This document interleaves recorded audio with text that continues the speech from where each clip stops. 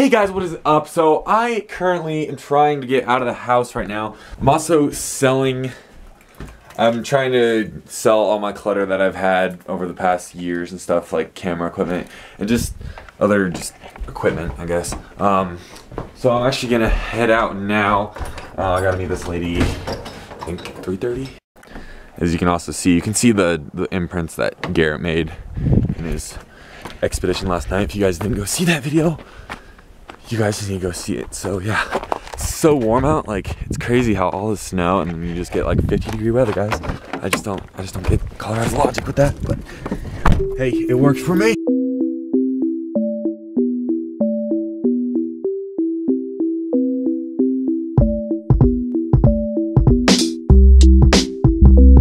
Hold up, I think I forgot something.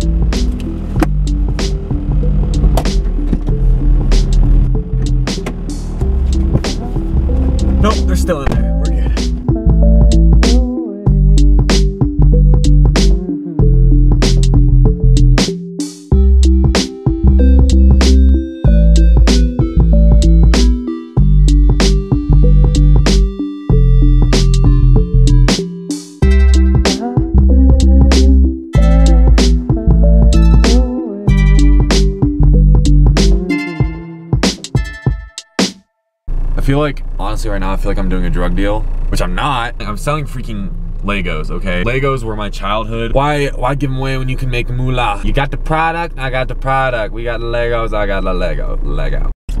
Well, she wasn't too bad. She was actually really friendly. She admired my my diligence in selling stuff, which is good. Yeah, I'm headed back home because I just ran in town real quick to do that. Look at this wet mess out here, guys.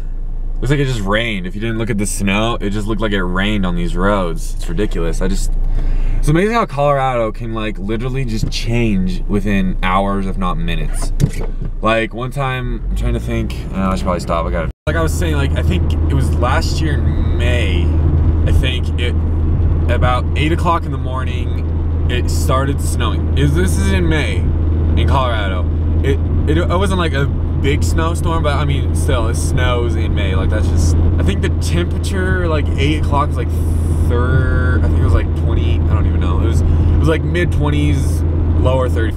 Four or three, it was already 85 degrees, and that was the biggest uh, temperature swing we've had. And like, I think, I, I don't even know if it's the country, I, it might, might even be the world. I don't, I don't know. Just insane how Colorado could just, like, just go so from being so stu like stupidly cold to like stupidly warm and stupidly cold again and then just in like a matter of seconds. Like I just don't get it. Okay guys so I don't I don't know if you guys know this but um so the Super Bowl it was awesome. Obviously the Broncos won. Broncos. Everybody is complaining about the way Aqib Talib acted in the Super Bowl. I just wanted to talk about like behavior issues, stuff like that. It's like, I one sec. Let me, let me get a better mount going up here. Okay, so obviously I know like Aqib Talib. It's like he he's debatably well now obviously he's probably debatably one of the best corners in the league. I mean yeah I agree he's he is fantastic and stuff, but honestly football isn't more just about skill or like how how you can tackle somebody or whatever. We all know that Aqib Talib had multiple penalties on him on defense in the Super Bowl if you watched it. Anyway, Aqib Talib got three or four penalties and added up to like 35 yards or something like that. Which that's pretty substantial. There there were stupid penalties like unnecessary roughness, um, taunting, and just if I was a head coach, which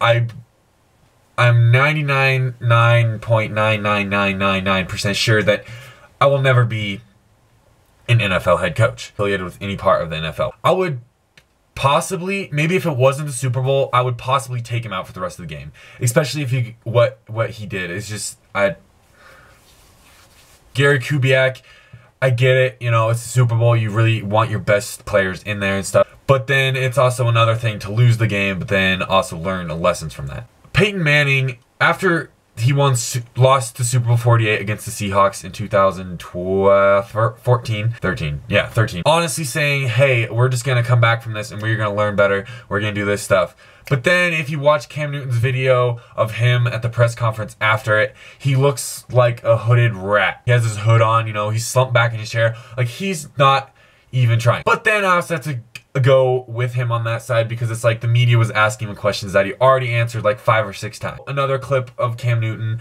was him literally collapsing on the sideline after his offense or defense did a horrible thing. He just collapsed on the sideline. If you guys saw it on live TV, then you know exactly what I'm talking about. Honestly, that is not the way you should be acting. I mean, I get it. I mean, you're on the Super Bowl. Like, I couldn't even imagine what it would be like to be on the Super Bowl, let alone I'm making freaking YouTube videos and I only have 50 subscribers.